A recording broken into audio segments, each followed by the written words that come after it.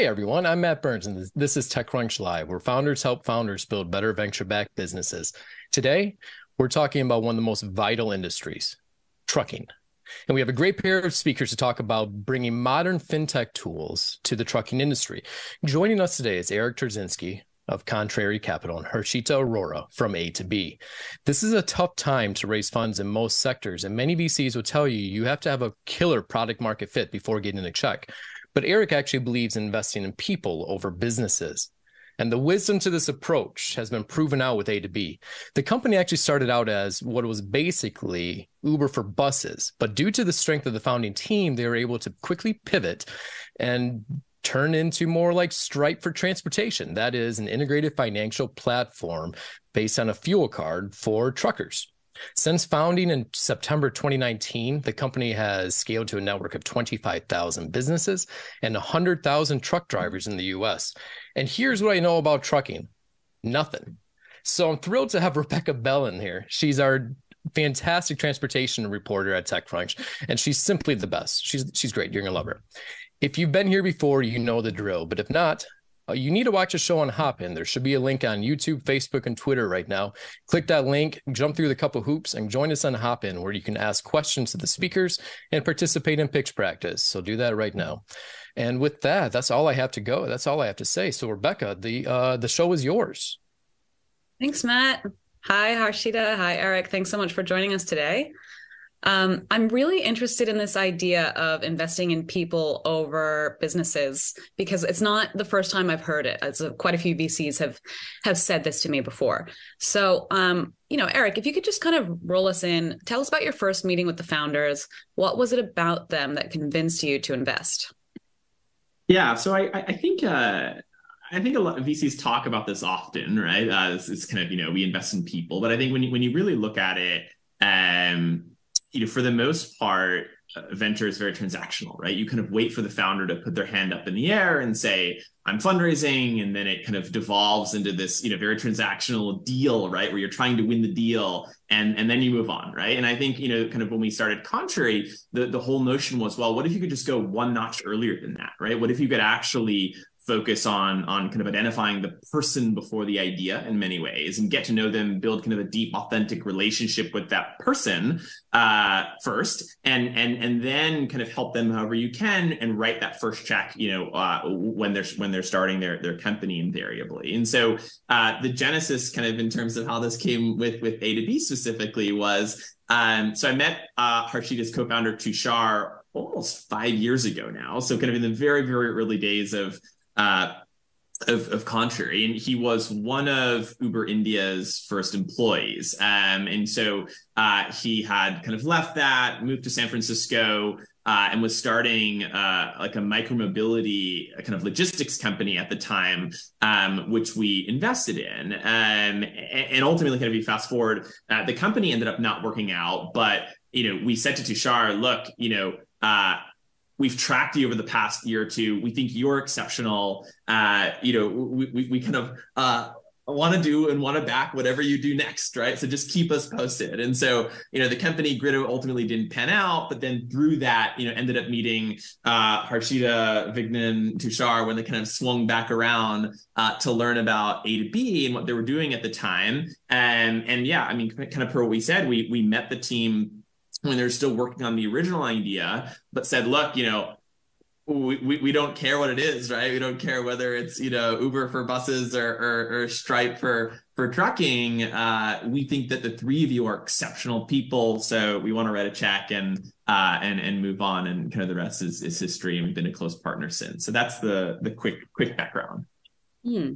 Uh, cool. Yeah. And before we get into Harshita's uh, founding story, I'm I'm curious. What are some red flag? You you obviously could tell that the team was working really well together. Um, I guess that's just something you kind of intuit while you're talking to them. You see how you know you you check their background. You see how they interact with one another, um, and with you. But I'm wondering, what are some red flags that VCs might see within a team that you're like, eh, I just don't. I think you guys there might be drama.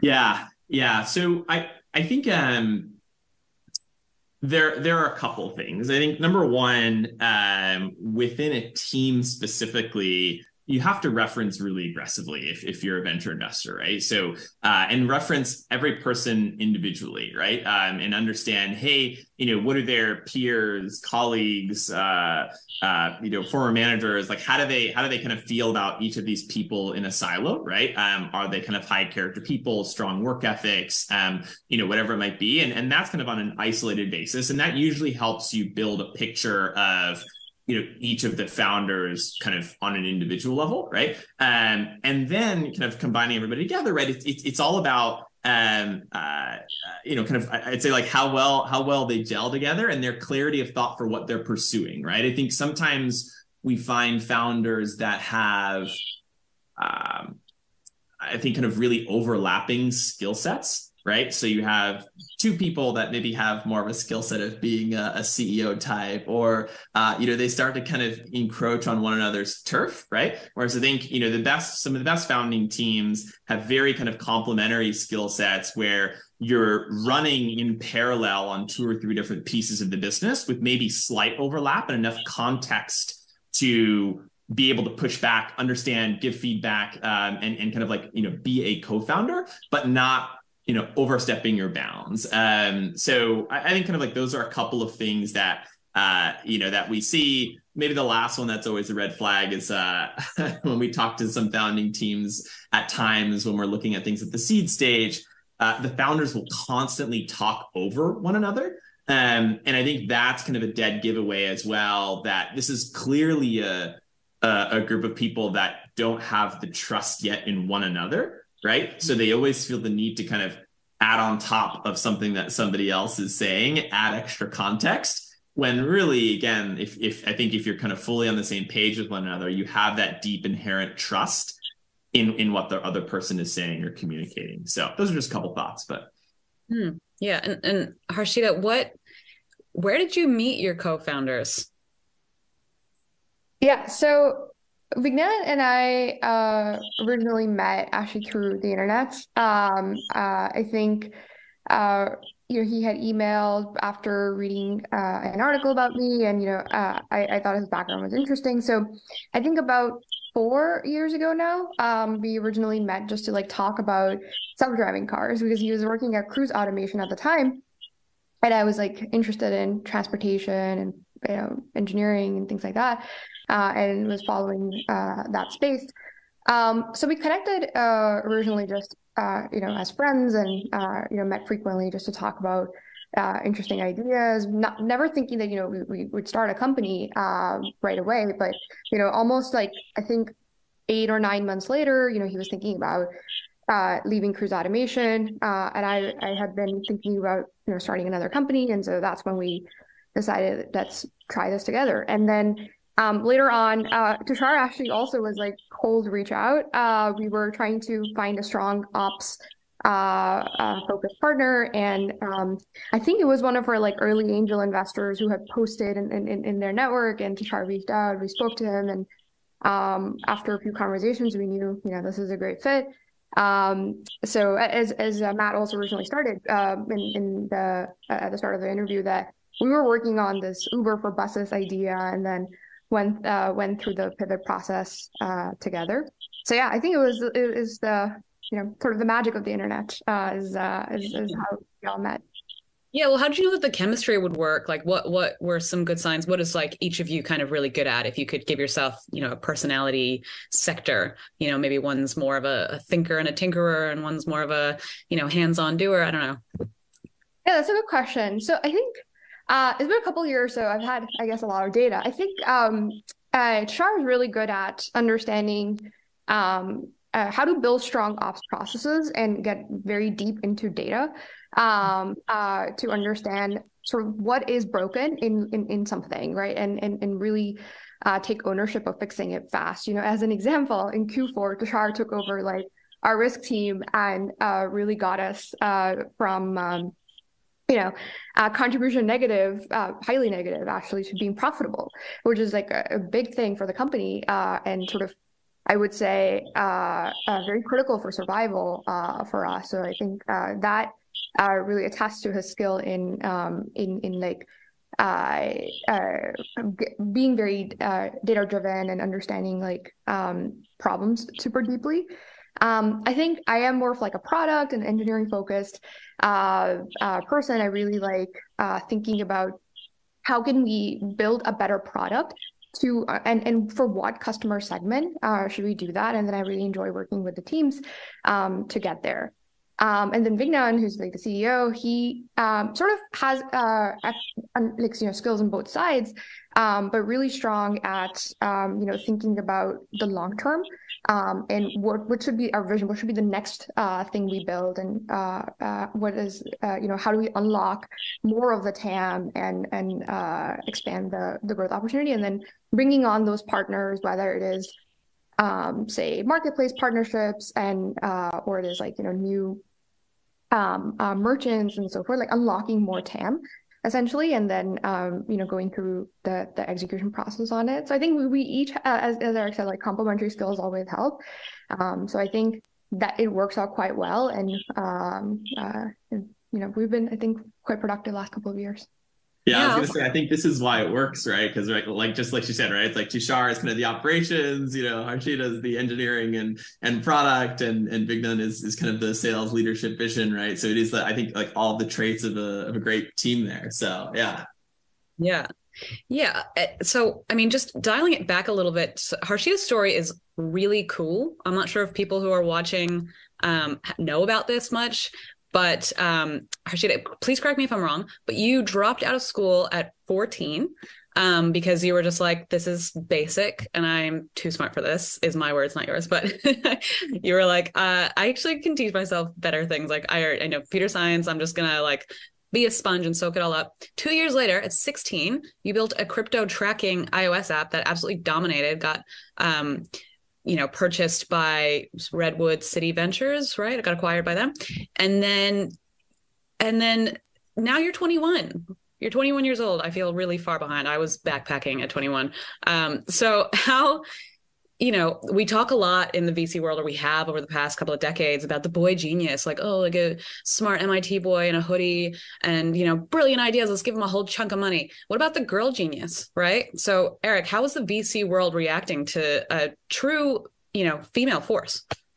Yeah, I mean, look, I, I think you said it yourself. Like, Harshita is clearly special, uh, and and and and I and I think like I think the venture world is hungry for things like this, like you were saying, right? Uh, I think hungry for everybody's everybody has the you know like you said the the the Drew Houstons or Collisons or people who've you know dropped out of, of MIT, right? Um, but I think Harshita's story is is is like that much more unique, incredible, special, and so I we, we were talking about this the three of us before we went live here, right? But I think there's uh, I think this is one of the the really special parts of the valley in particular over the past five ten years right? Is is this willingness to uh you know kind of have people like Harshita be discovered, right? Uh, and and then you know, as long as you have an interesting idea and you're a really sharp, ambitious person, I think increasingly it doesn't matter where you're from, what your background is, you know, you name it, right? You too, I think, uh, uh, can can you know get capital and, and have a crack at building really special and, and kind of enduring business. So yeah, I think people are hungry for it. I think Harshita is just kind of the tip of the iceberg. So yeah, I mean, I mean, I I think that you're probably right that people are are getting hungry for it. And you know contrary seems to be um, at least in this instance really uh, open to that. I have talked to other founders. There's another founder here in new zealand actually that i spoke to. I live in new zealand by the way um, that her name's fia jones. She's the founder of asterix um, astronautics. Uh, and she i think yeah she's got a cool founding story as well. But she you know i asked her you know as a young woman of color how have you felt? Um, it, you know, getting money in the space. And she felt that sometimes people didn't always take her seriously, uh, and that they took her more seriously when she let her male co-founder speak. Harshita, have you had similar experiences? In uh, into like investors? Yeah, talking to investors. Yeah, I mean, or do you feel like you're just like I'm so brilliant that people have to see that? yeah, I, I don't think I have a ton of data on that because, um, uh, you know, uh, mostly my co-founder Vignan has been part of the funders process largely. It's a lot of work, as as, as you might know, and ends up uh, taking up becoming the top of mind. You know, I think PG, for example, has an essay also on it. If you're fundraising, can't do anything else. Um, so for Series A and Series B, was my co-founder.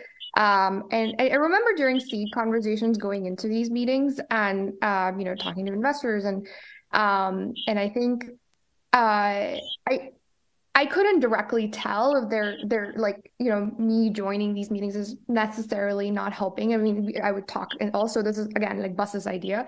Um, so we we would talk about the problem and you know the traction we had at that time.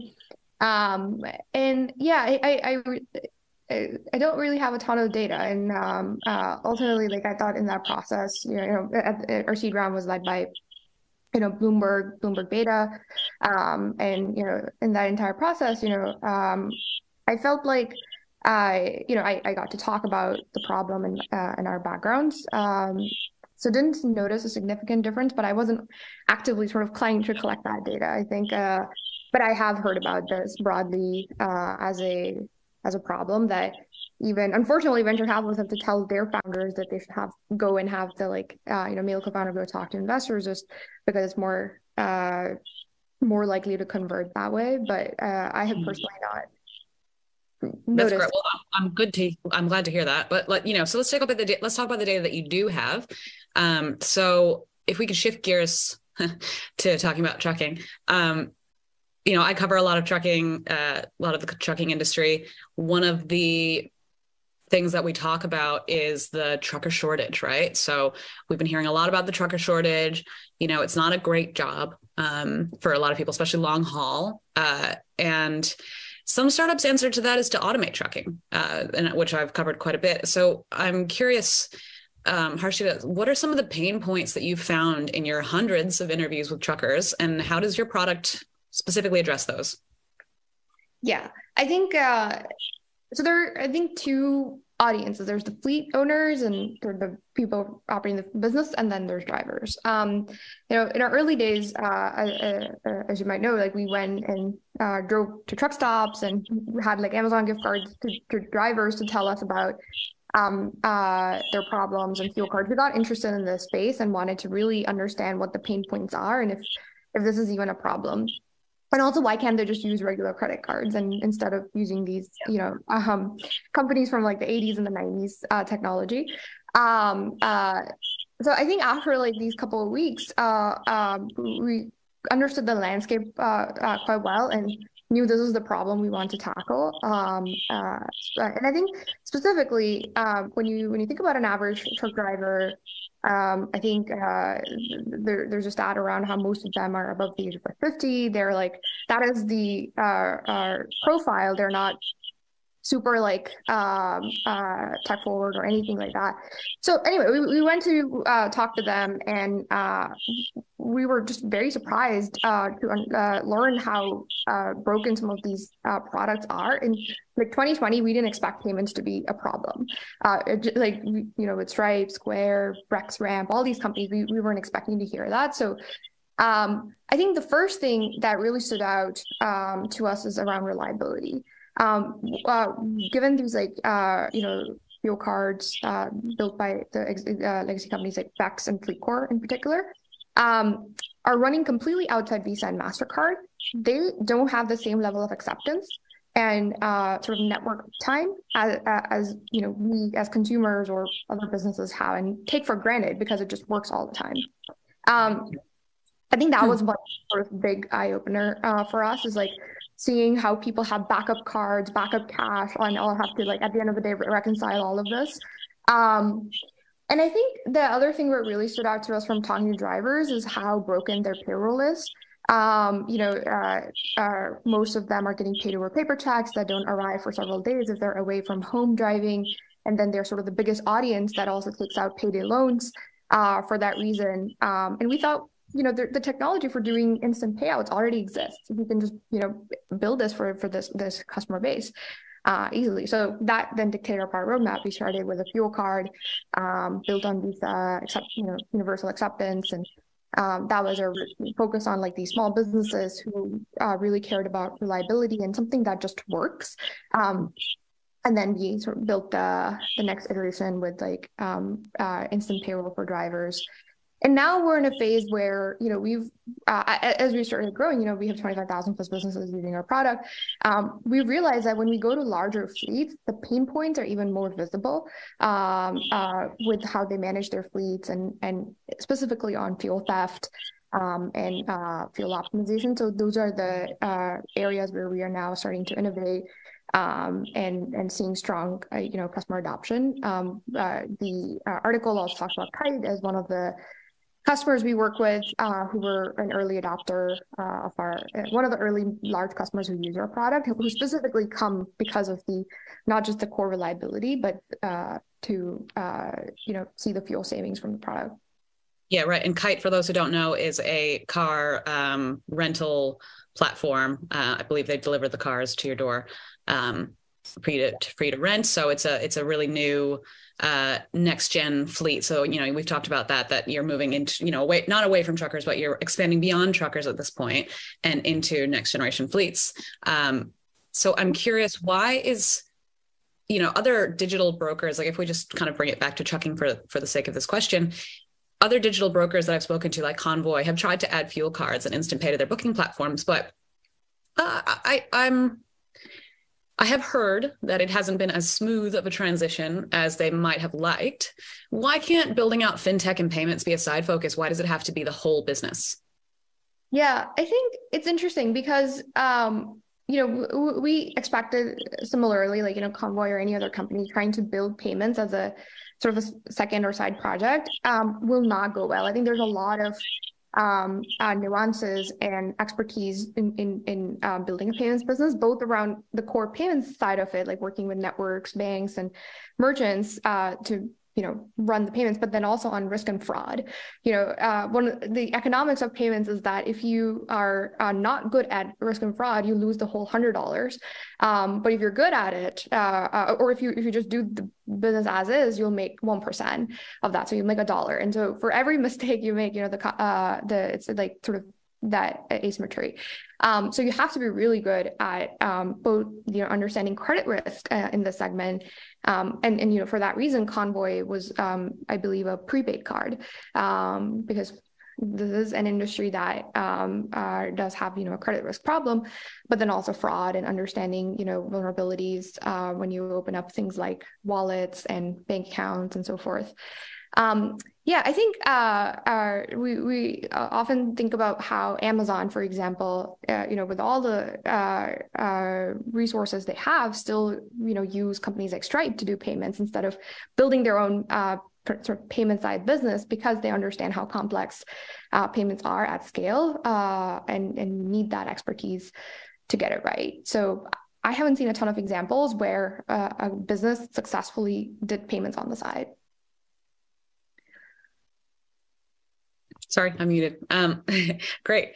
Thank you for that. Uh, now, you know, Eric, obviously you're a, a, a people stand. You you stand for the people, but this obviously has to be a business that you believe in as well, right? So, what is it about you know fintech specifically for you know one business one type of business or, or one sector transportation in this case what is it that made you back that are you not concerned um, you know, in the case of trucking, for example, that it's maybe not future proof for autonomy, which, as we all know, is kind of a faraway dream, but you know, it could yeah, happen.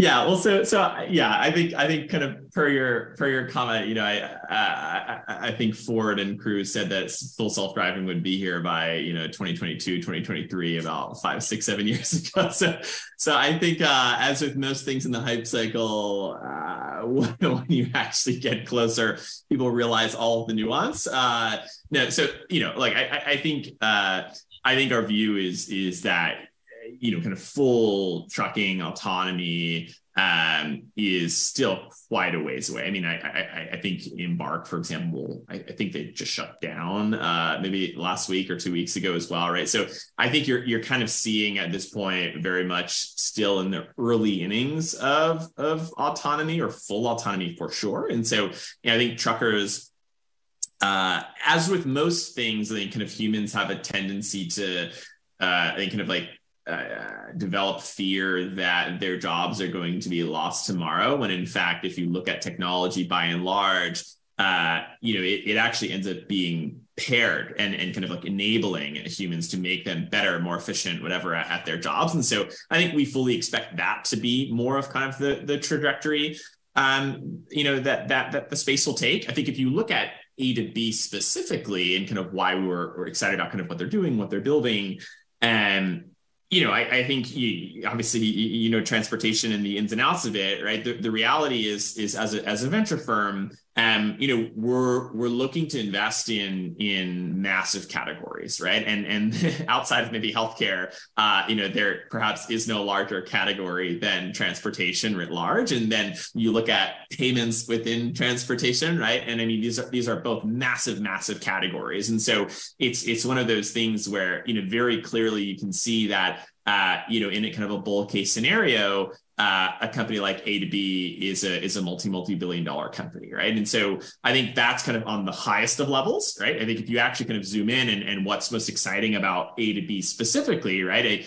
I, I think it's the fact that as you know Archie just mentioned over the past 20 minutes or so, right? The the financial system for fleets is is clearly broken, right? It's it's it's systemic, right? And I mean that that goes everything from mom and pop truckers who are you know kind of still stuck in the in the past of kind of paper invoicing and and, and payroll. Um, you know, even to kind of newer folks recently who need, you know, uh, a system that can kind of integrate into their stacks more seamlessly, right? And so, yes, you know, uh, the kind of initial go to market for something like A to B was kind of the the, the fuel card, right? But uh, you know, Harshita and team have been spending a lot of time building out uh, much more infrastructure to enable you to run the entire stack, right? From the basics of you know fuel purchasing, uh, payroll, electronic invoicing, things like that, to kind of like more next generation issues as well, right? So uh, you know telematics integrations uh, and and like kind of custom solutions for mid to larger fleets and everything in between. So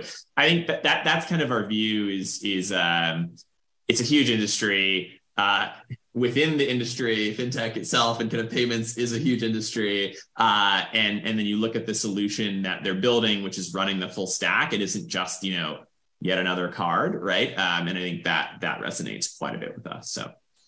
Yeah, absolutely. I think Harshit had said something uh, during a previous call about you know only having tapped like a five percent maybe of of the total addressable market and already you know could project for a hundred million dollars in revenue. I could be making those numbers up. Harshita nod if I did got it right. um, I think five percent would be bigger. Uh, in the U.S., probably. Yeah, I think you're off the ballpark. Yeah, in the U.S., you in the U.S. Yeah.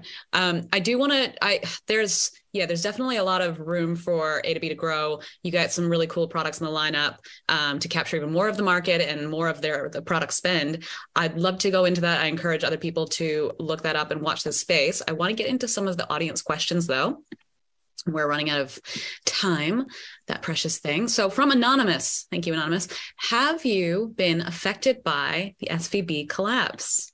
What lessons did you learn? I guess that can go for either of you.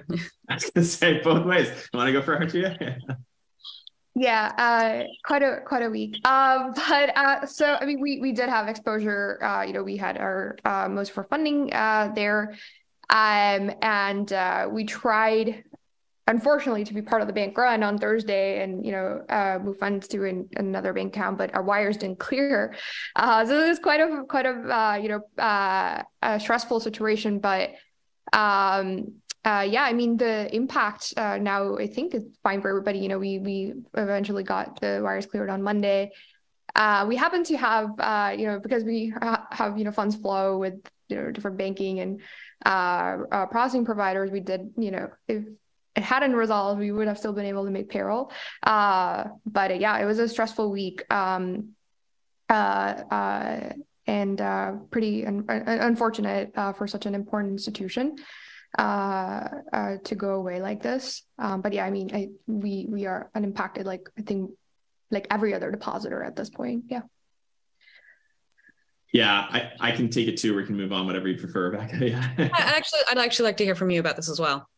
Yeah, yeah. So I mean, we um, like we we were very fortunate actually in, in that you know kind of uh, pre as as Harshita said, uh, kind of depositors being kind of secure. I, I, you know, we have a roughly 100 portfolio companies. um, right now, and and about 95 of them had gotten most or all of of I'll define most as kind of like you know 20 percent uh, uh, only having kind of 20% maybe kind of deposits in, in SVB uh, prior to kind of things falling out over the weekend. So um, whether some combination of, you know, great luck or, or fortune or, you know, whatever, uh, um, you know we were relatively unscathed as well prior again to to, to the, the government stepping in. But you know just from talking with so many friends i mean that, that was absolutely not the case right? For a bank that was banking you know 30 40 50% of all startups right? I, I think there were a lot of firms and startups that uh, that were going to be hit really badly. And even we had you know a couple of startups that had tens of millions of dollars uh, you know kind of tied up in svb so i think you know if if the deposits um, you know weren't fully guaranteed or if people got quite a meaningful haircut or something like that it, it, it, it could have been quite catastrophic i think for, uh, for for the entire industry i think fortunately it feels like for now we've uh, you know kind of can breathe a sigh of relief and have dodged a bullet but you know i think uh, I think to me this kind of just feels like the starting gun in many ways. Uh, I don't know that you know we're, we're going to kind of turn a corner here anytime soon in just the tech slash venture world writ large. So Hmm. Yeah, dicey, dicey times. I guess we'll have to wait and see what uh, what develops. Now, um, I've got another question from a, a Gus Schultz uh, for Harshita. When did wearing multiple hats as a founder, especially in the infancy of a company, become a pain point, and were the easiest way to clear these roadblocks adding new hires slash better delegation? Yeah, I think there there was a time when we we were doing too many things from like review underwriting applications to like building products to doing support. I think at that point where you're multitasking and context switching so much, uh, at that point uh, for sure it became clear we needed people. Um, and uh, uh yeah, if you if you're context switching too much, uh, is, is I think at that point uh, uh, needs to hire strong people. But I think it's it's uh, uh, really difficult to find um, strong engineers and operators for an early stage startup who uh, are great fits. So it takes a long time also uh, uh, to get them, and you have to have a very high bar because the first ten, you know, will bring the next uh, hundred or so. I think it's not my quote. I think comes from some another founder, um, but I really believe in that, and I think we. We're quite patient uh, uh, with bringing on the early team. Um, so yeah, uh, I, I, hope that answers the question. Like when you're like context switching between five, six things in the same day, that's when you need uh, to really hire. Uh, and I think in you know if, if you uh, for an important problem, if you're able to bring in someone who has tackled it before or has expertise on it, you know they're going to do a better job uh, for sure, and and you increase your odds of you know succeeding at that. So depending on you know whatever runway and funding the funding in the company you know should should come based on whatever the most two or three most important things that the company has to get right and hiring the right people for that has been our thinking yeah that's that's a good point yeah when you're like oh i'm actually spinning like six plates in one day it's maybe time to time to drop something um Hmm, there are some other questions, and I, I, wish I could ask them. I'm so sorry to those who have um, sent them in, but I think we need to get into the pitch competition. It's time. I see Matt Burns has returned. Yeah, I'm here. That, that was great. She a, a fascinating story, and Eric, Eric so knowledgeable. I learned a lot. Uh, Rebecca, thank you so much for doing this interview. You did such a better job than I would have, so I really appreciate it. Thanks so much for having me. Bye, team. Thanks, Rebecca. All right. Well, we're not done with TechCrunch Live yet. We still have one more segment. This is called Pitch Practice. We bring on three companies and they're going to pitch everybody for two minutes. And then we get four minutes of feedback on, on how to improve the pitch. And that's what we're here for. We're trying to help. Um, so this isn't a competition. There's no winners. There's no losers. Basically, everyone wins. So we're going to bring on the first, the first founder. First founder is Max, and he's coming from Ant Robotics. Max, I can see you there in the Zoom window. How are you? I'm fine. Yeah. Very good, sir. Well, you have two minutes to present your company starting now. We sell a robot orchestration platform and robots we designed to transport parts and materials on factory floors. Our customers are small and medium American manufacturers whose needs cannot be served by warehouse robots available on the market. Unlike to our competitors, our robots can pick pallets without any stationary load and load equipment and safely transport pallets through the tight floor environment. Our secret sauce is that we manage to make our robots use regular manual pallet jacks, and as a result, our customers do not have to change anything in their factory layout to start using robots. Our robots help to manage labor shortages and reduce indoor logistic expenses by up to 80%. For all US manufacturers, this is a $60 billion problem, and the resulting increase in productivity can amount up to $300 billion of additional revenues to all US manufacturers combined. Two years back, it was a mere idea. Today, we have customers like Verizon and supplier of jet engine parts to Lockheed Martin and Rolls-Royce. We are reaching out to potential funding partners passionate about robotics, industrial automation, and sustainability. Additional $2 million will fund new hires, faster execution of the project in our pipeline, and new customer acquisition. I am Max Antonenko, the founder and CEO of Anthrobotics, and previously I was doing my research in academia and serving as a Dean of Software Engineering chair. And at that time, I believed scientists and engineers are the most important guys in the world. Now, after launching my third startup, I am sure the combination of technical background with entrepreneurial mindset is a broken mixture to succeed in a venture and world improvement. Very good, Max. Thank you so much. I'll start with the feedback. We can start with the timer.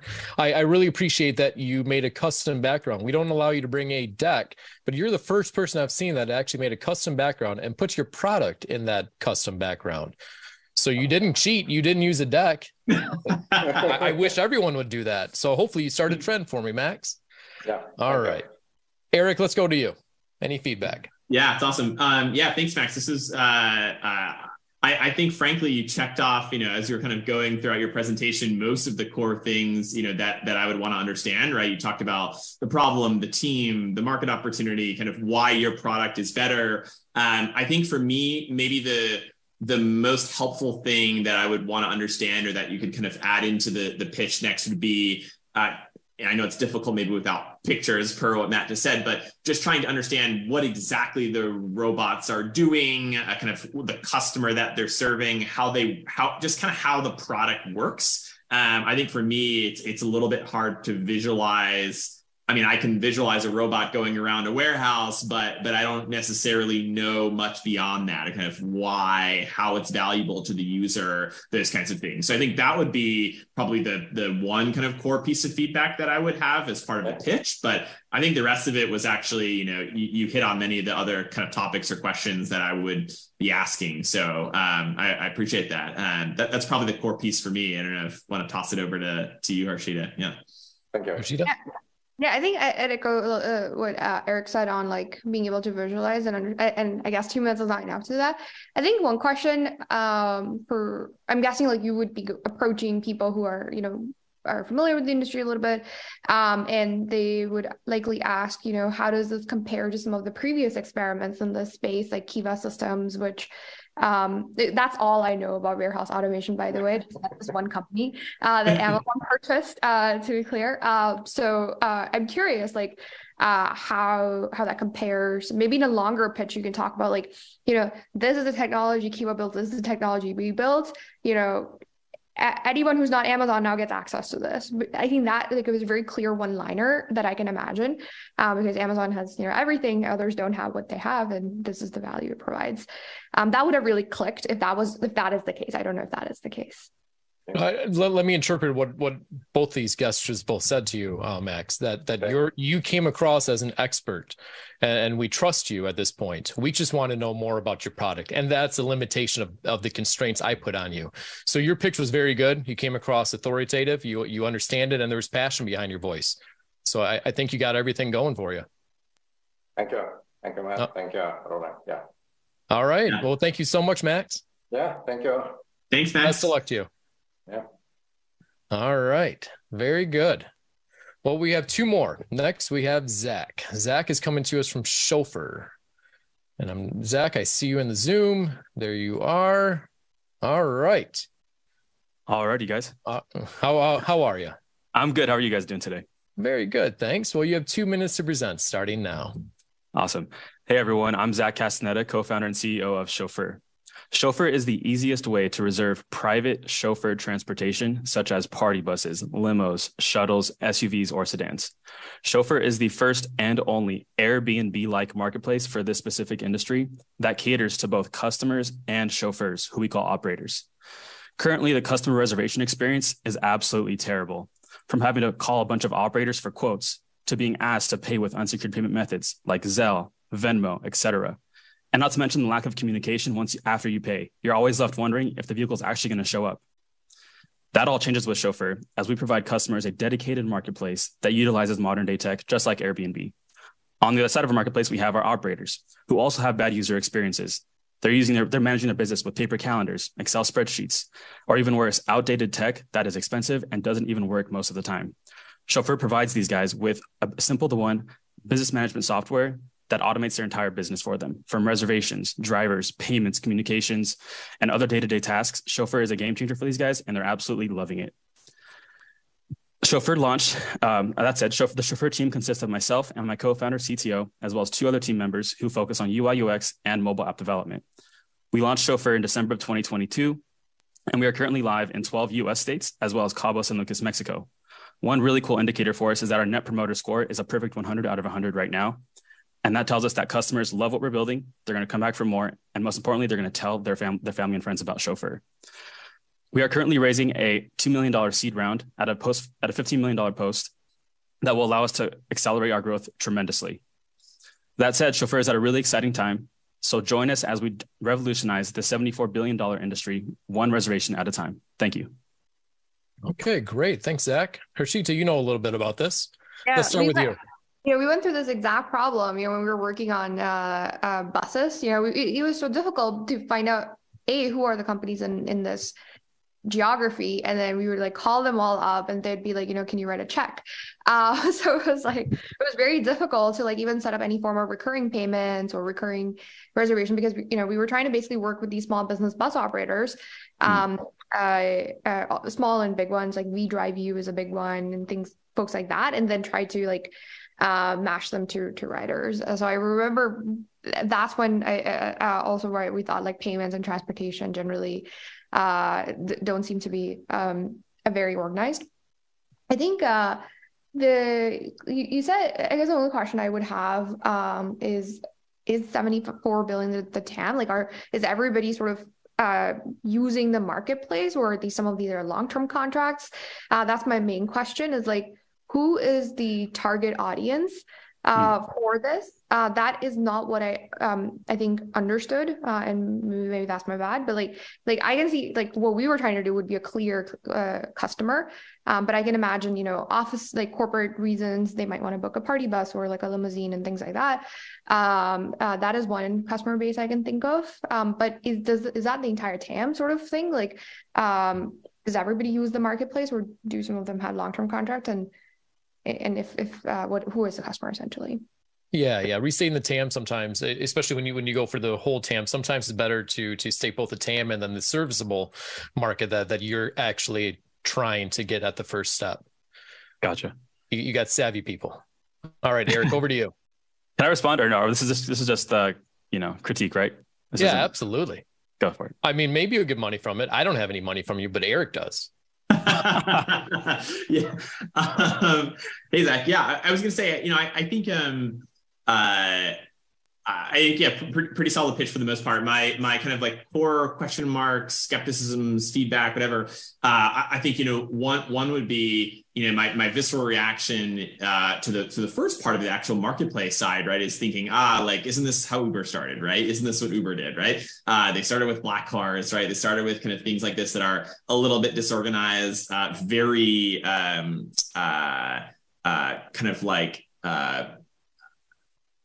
I can't think of the right word right now. Like, uh, you know, fragmented is the right word. That's it. Like yep. super fragmented, right? Um, yep. and and these, you know, kind of have proven themselves over time, kind of like very hard to kind of aggregate, centralize. So, so that's, you know, one piece of the puzzle, right? But then you also mentioned that you're building software for these folks, right? And so, in, in my mind, I was thinking, okay, well, th- these are actually potentially just two different businesses full stop right? And and and you you might be better served in the early days uh just focusing all of your efforts on one of them and seeing which what can happen with that right? So uh, either trying to build up the marketplace component of it for for you know uh, uh, buses or black cars or whatever it might be or the other element of it being hey you know we're just going to try to build a, a kind of vertical saas tool for these kinds of companies. And and that uh, alone could be a huge business. I mean, you take a look at like like Squire is one that's top of mind that basically does this for barbershops, right? Some multi-hundred million dollar company